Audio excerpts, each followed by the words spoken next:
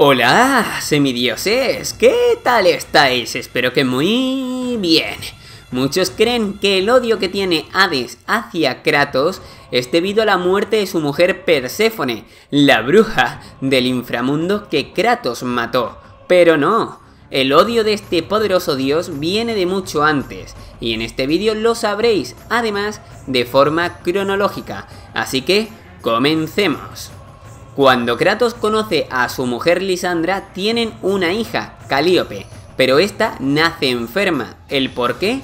Es debido a que los dioses están haciendo una competición, la cual consiste en que cada uno elige a un mortal, y este debe conseguir la ambrosía de Asclepios, la medicina que todo lo cura. Para que esos mortales, o mejor llamados campeones, quieran ir a por dicha medicina y que encima lo den todo para conseguirla, cada dios enferma a alguien muy cercano al campeón. Bien, en el caso de Ares, elige al espartano y enferma, como ya sabemos, a Calíope. En el caso de Hades, elige al príncipe Alric y enferma a su padre. Y así todos los demás dioses que participan. Por cierto, si queréis escuchar la historia completa de esta primera aventura de Kratos, contada en cómic y la cual os recomiendo, la tenéis en el canal y al final de este vídeo.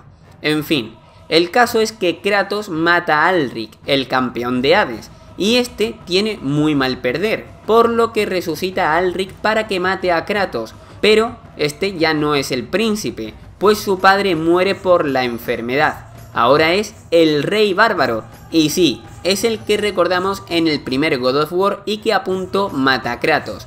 Todo orquestado por Hades, pero ya sabéis que el tiro le sale mal, ya que Kratos pide la ayuda de Ares, y bueno, pues ya sabemos lo que pasa después. Las espadas de caos. Las cadenas permanecieron ahí, unidas y fundidas con la carne, como un miembro más del cuerpo del portador. Un recuerdo permanente de la promesa de Kratos. A cambio, el poder definitivo. Todo esto nos da la explicación del por qué los no muertos van a por Kratos en toda la saga griega de God of War. Hades, enfadado, los envía para matar a Kratos. Lo gracioso es que más tarde Kratos mata a su mujer, ya sabéis, Perséfone. ¡Bruja! Además del barquero Caronte y por supuesto a Thanatos, el dios de la muerte, y a su hija Erinias, que imagino que también enfadaría a Hades. En fin, espero que os haya gustado el vídeo, mañana hay uno especial y este domingo comienzo una nueva serie de God of War, que creo que está padrísima. Gracias por verlo y apoyar los vídeos, un saludo y hasta más ver. Adiós.